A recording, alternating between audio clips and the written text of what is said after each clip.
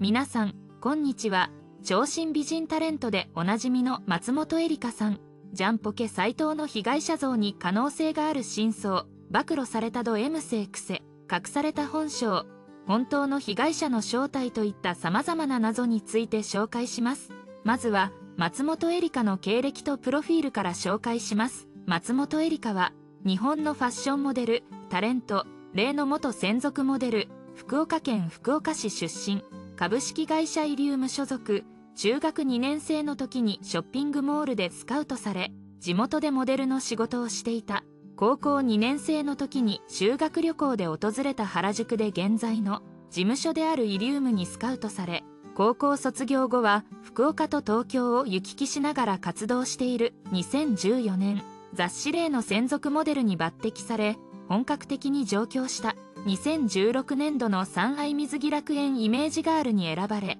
2015年11月4日にお披露目2016年9月24日まで務めた。趣味は料理映画鑑賞人間観察カフェ巡りランニング。2015年4月ホノルルハーフマラソンに挑戦。本番の1ヶ月ほど前に練習を始めるまでは1キロも走れない状態で練習でも15キロが最高だったが約6000人中1104位。2時間8分8秒でハーフマラソンを完走した。特技はモデルウォーキング。好きな食べ物はアサイーボール。チャームポイントハクビレ憧れのモデルは山本美月矢野美紀子。佐藤有沙長谷川淳にモデルとして人として憧れる。高校の1学年下に今田美桜がいた。好きなタレントは渡辺直美で。福岡での渡辺のイベントを見に行った時にスカウトされたという縁がある。テニスに打ち込んで真っ黒に日焼けしていた中学時代のあだ名は焦げパン。2歳上の兄がいる。同じ事務所の久松郁美や元フジテレビアナウンサーの久慈明子と仲が良い。同じ例専属モデルの佐藤晴美。松井愛理朝比奈彩と仲が良い。同意年の武田彩奈と仲が良く。同意年でありながら妹と称している。TBS 系王様のブランチのリポーターとしても知られるモデルの松本エリカが10日までに X を更新。不同意性交などの疑いで警視庁に書類送検された。元ジャングルポケット斎藤真二の被害者だとする。一部ネット上の憶測を否定した。松本はどう言えば波風が立たないのか。とても悩んだのですがと書き出し。まず絶対的に言えることは私ではないです。共演させていただいたこともございませんときっぱり。いつも応援してくださっている皆さん噂は事実ではないので安心してくださいとファンに呼びかけた続くポストでは事実無根の全く関係のないことで急にいろんな人から矢を向けられるってこんなに怖いんだね。君が悪くて朝になったら嘘を信じる人がもっと増えてしまいそうで不安で全然寝れなかったとデマが拡散された心境を明かし誹謗中傷が人の命を奪いかねない理由が今ならすごくわかる気がすると綴った。捜査関係者らによると斉藤は7月に東京新宿区内に駐車していたテレビ番組で使用したロケバス内で20代女性に性的暴行を加えたとしている。車内では女性と2人きりだったという9日被害女性が弁護士を通じて声明を発表した。また好きなタイプについて2019年7月27日夜11時から ABEMA テレビで放送された大人女子会に JSA キャンペーンガールの島田七海三愛水着楽園イメージガールの松本エリカ旭化成グループキャンペーンモデルの山下遥が出演。松本がド M すぎる異性のタイプを告白し島田と山下を驚かせた。番組の中盤方言の話で盛り上がっていたところ松本が男の人の方言だったらどこがいいと2人に質問。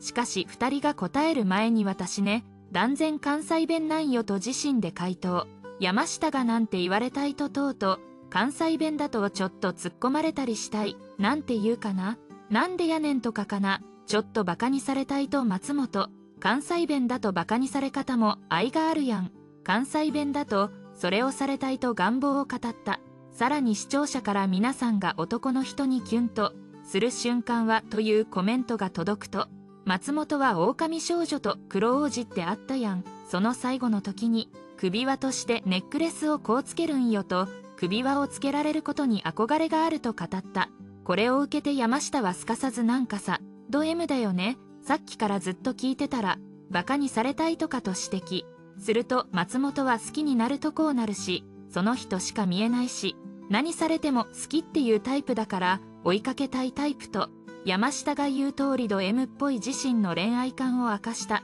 さらにその後も、怒ってもらえる人がいい喧嘩をしているカップルを、見ると羨ましくなっちゃう浮気されても言わないなど、M 気質であることをところどころでアピールしていたが、2人からの共感は得られなかったようだ。ちなみに、S っ気の強い男性が好きそうな松本だが、嫌いなタイプは店員に冷たい人だという。なお、ご家族の情報ですが2歳以上のお兄さんがいるようですね。ご両親の情報などは上がっていませんが普通に考えれば4人家族ということになりますかね。また松本さんの出身高校ですがやはり地元の福岡県の高校に通っていたようで県立福岡公林館高校という学校出身のようですモデル活動などで福岡と東京を往復しながら卒業されたんですから大変だったと思いますし頑張られたんでしょうね。松本さんが大学に通っているかについては詳しい情報はありませんでしたが朝から目覚ましテレビに生出演する機会が多いことや平日にイベントに参加していることなどから進学はされずタレント活動一本に専念している可能性が高いのかなと思いますね。また彼氏やこれまでの熱愛情報などに関してですがまだデビューされて日が浅いこともあって共演者関係での情報もありませんし過去の学生時代などの情報なども上がっていませんね。ただこれだけ可愛い方ですので今までモテなかったことはないはずですしお付き合いされた方がいたとしても不思議ではありませんよね。今は上京されブレイクされるために一生懸命でしょうから。恋愛をしている余裕があるかは難しいところだと思いますがいずれ何かの表紙にそういった情報が出回る日も来るかもしれませんがとにかく今はもっともっとその存在と魅力を広く世間に認知してもらうために頑張っていただきたいですね。他に2016三愛水着楽園イメージガールの松本恵里からが2016年6月12日都内で行われたアマゾン三愛水着楽園ストアオープン。記念水着ショーに登場した。披露された水着はおへそや胸の谷間をチラ見せするタイプ。引き締まった尻肉を強調するセクシーなタイプ。一見露出は低めだがうっすらとボディラインを透けさせるタイプなど多数。華やかなウォーキングとポージングに監修の女性は目を輝かせ男性は鼻の下を伸ばした。身長168センチ。B78W55H84 とビクビレがひときわ目を引く松本は今日はたくさんの人に見ていただいて楽しかった。気持ちも高ぶりましたとにっこりピラティスやキックボクシングなどでスタイル維持に努めているそうでお天気お姉さんやニュースを読めるモデルさんになりたいですと今後の目標を掲げた。そのビキニ姿を前にすれば。